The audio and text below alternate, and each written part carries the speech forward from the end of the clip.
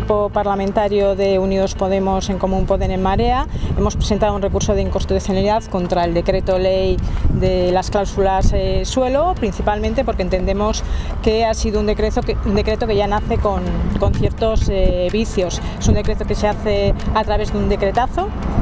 sin la colaboración de, la ciudadanía y por lo tanto no acoge las reivindicaciones ni de la ciudadanía, ni los afectados, ni las diferentes asociaciones de, consumidores. Es eh, un decreto que va en contra de, los intereses y de los derechos de las personas afectadas, de los ciudadanos y ciudadanas afectadas y que en cambio, en contrapartida, lo que hace es proteger eh, los intereses y los derechos de, las entidades eh, financieras. Entendemos que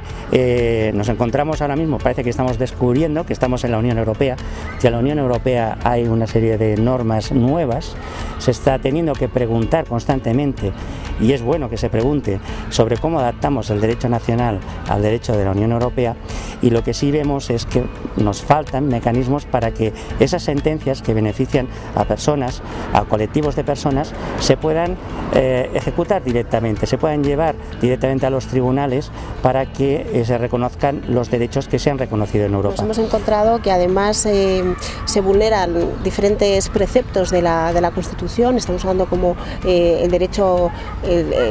hay unas, unos principios de discriminación, por una discriminación en cuanto al concepto consumidor, en, este país tenemos un concepto de consumidor amplio y aquí ya se está vulnerando en este sentido que se discrimina solo a consumidores que sean personas físicas, las personas jurídicas también pueden ser consumidoras y ya se discrimina y no van a poder acoger a este mecanismo de reclamación previa y van a tener que acudir, eh, acudir a los juzgados, a, pleitear desde el minuto cero para recuperar esas, esas, eh, esas cantidades que se han, bueno, que son, que se han, que se ha cobrado indebidamente por parte de, los, de, los, de las entidades bancarias.